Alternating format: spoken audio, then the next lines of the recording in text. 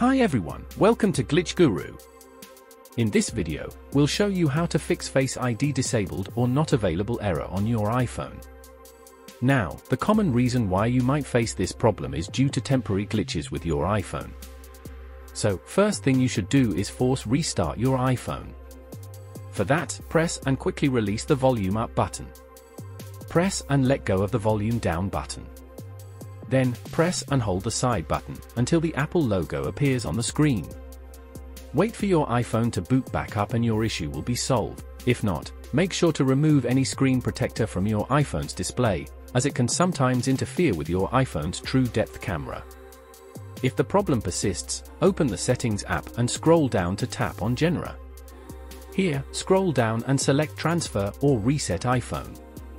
Then, select the Reset option at the bottom. Choose Reset All Settings to confirm. If nothing else works, go to the General Settings again and check if there are any pending iOS updates.